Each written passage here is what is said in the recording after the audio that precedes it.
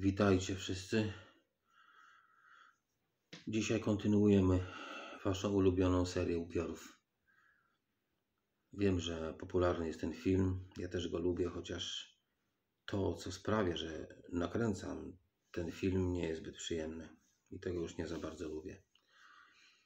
I nie będę dzisiaj rozwodził się na tematy dzieciństwa i traumatycznych wspomnień, ale coś tam wspomnę i przede wszystkim nakręcam to dlatego, że ostatnio, przedwczoraj i wczoraj się wydarzyło coś.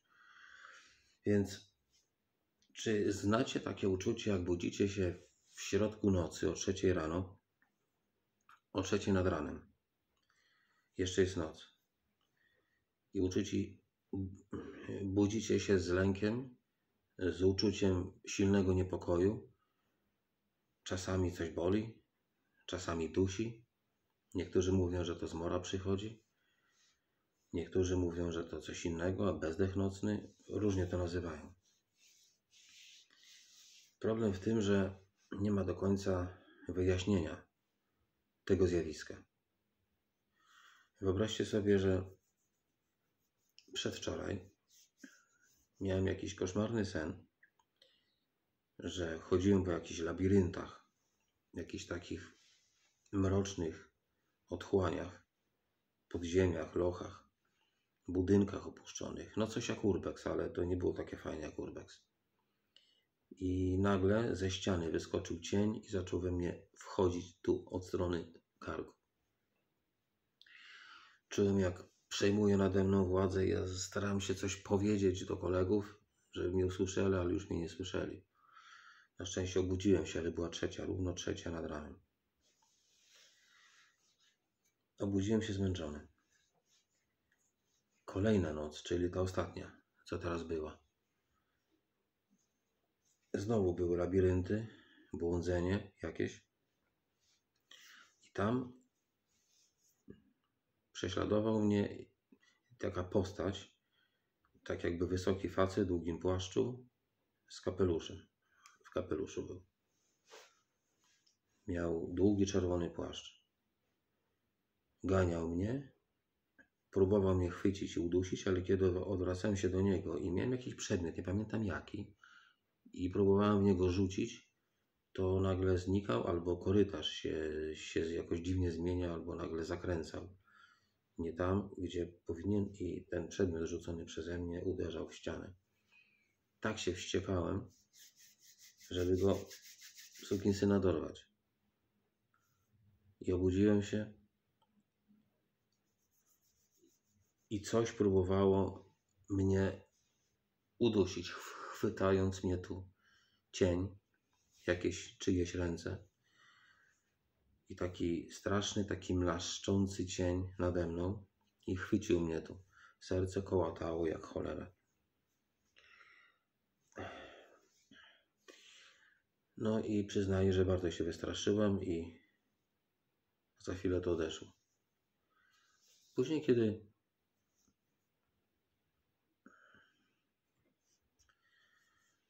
Dobra, przyznam się, kiedy kołatało mi bardzo serce, bardzo łomatało, e, wzywałem Jezusa, chociaż nie jestem chrześcijaninem. I stało się tak z dwóch powodów. Znaczy, jeden był powód, tylko zastanawiam się jaki. Czy taki, że Jezus naprawdę jest i czuwa nad nami, i do niego instynktownie się zwracamy, czy dlatego, że jako dziecko byłem wychowany w wierze chrześcijańskiej i zostało to we mnie zakorzenione, wpojone i po prostu pierwotny instynkt przetrwania połączył się z tym pierwszym wspomnieniem. Nieważne, w każdym razie, kiedy kołatało serce ze strachu, wezwałem go, no i to coś złego odeszło. Być może Jezus pomógł. Okay jeszcze tak już podjąłem wątek chrześcijaństwa, to powiem, że no, nie jestem chrześcijaninem dlatego, że lubię Jezusa, ale nie lubię większości jego wyznawców. Tak powiedział Mahatma Gandhi i pod takim stwierdzeniem podpisuję się. Dobra, wracając na temat. Yy, nauka nie wyjaśniła do końca, dlaczego się budzimy niektórzy o trzeciej nad ranem i się źle czujemy. W przestrachu, przerażeniu. Naukowcy twierdzą, niektórzy, prawda, badacze tego, lekarze, medycy, że wtedy następuje gwałtowny spadek melatoniny, czyli hormonu snu, a wydziela się kortyzol, hormon stresu. Taki kryzys organizmu i wtedy człowiek się budzi, przerażony, skołatany, prawda, i, i wybija się ze snu i nie wie, co się z nim dzieje. Z drugiej strony, wszyscy ci, którzy wierzą w okultyzm albo w jakąś religię, nawet chrześcijańską, to twierdzą, że wtedy y, następuje, nadchodzi godzina diabła, godzina trzecia. I trwa do, do czwartej nad ranem.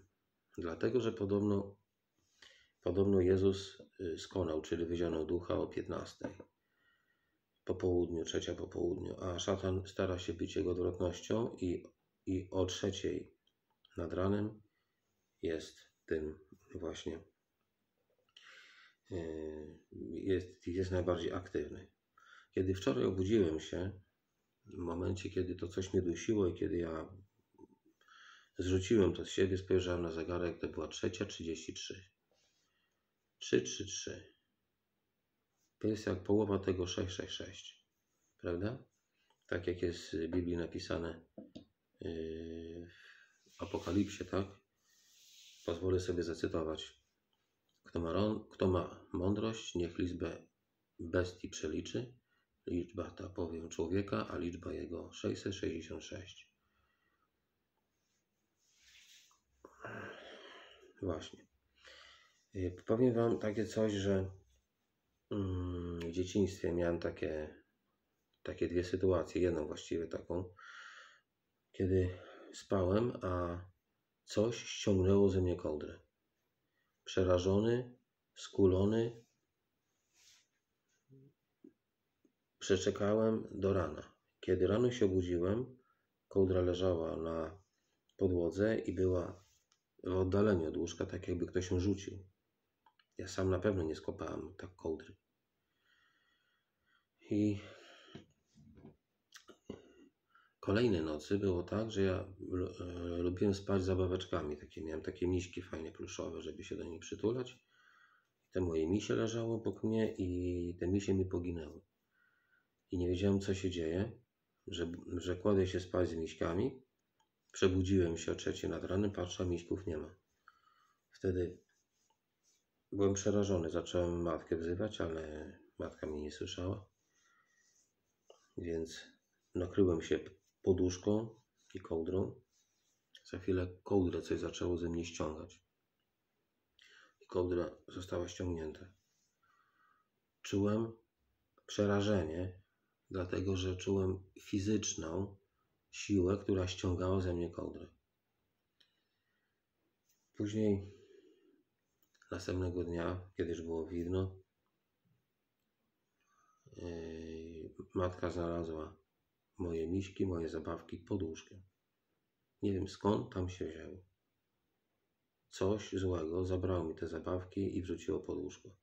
Jak ja wtedy panicznie bałem się, co spod tego łóżka może wyjść kolejnej nocy. To takie mam wspomnienie. A teraz powiem Wam, jaki jest sposób, żeby temu zaradzić. Po pierwsze,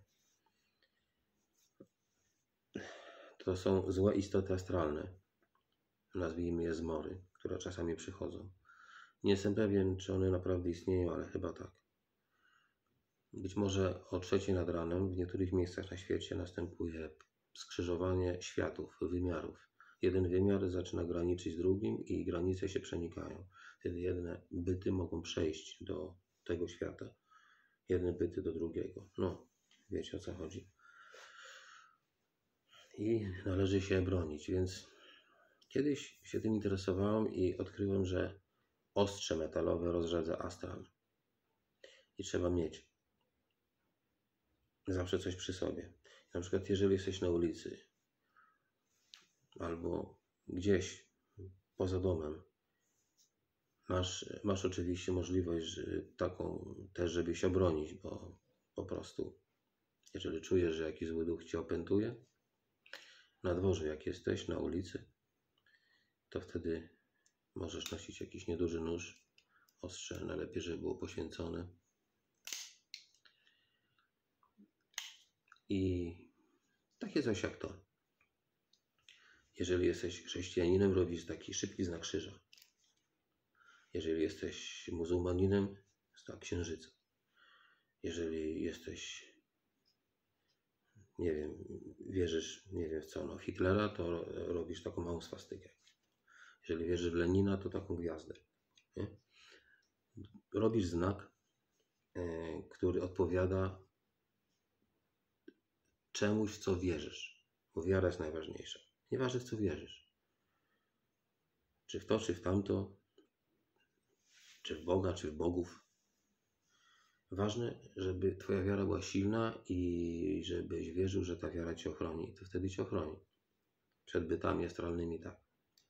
Wtedy jak wierzysz w coś, że masz wsparcie, to samoistnie czujesz się silny. No. Przepraszam w ogóle, że jestem czarny trochę, ale jakoś tak jest, kiedy opowiadam o wspomnieniach z dzieciństwa, a zwłaszcza o traumach, robię się czarny. No sorry. Tak, jakoś mam. Yy, co jeszcze?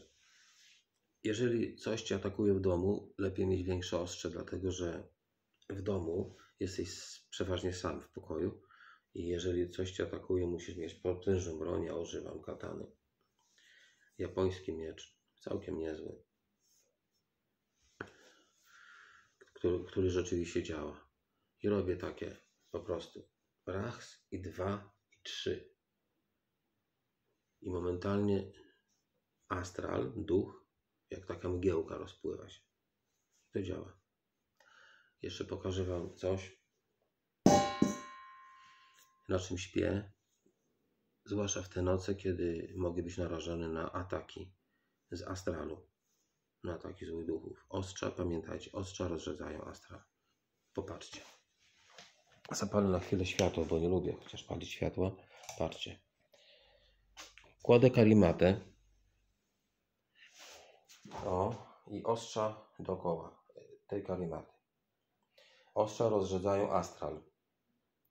I każdy byt, który zechce do mnie podejść, nadzieje się na to ostrze.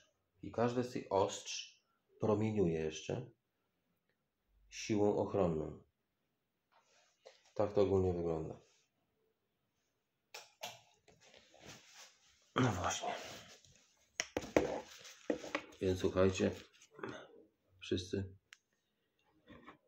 że najważniejsze jest nie poddawać się jeżeli coś was, was atakuje, próbujcie sami się bronić.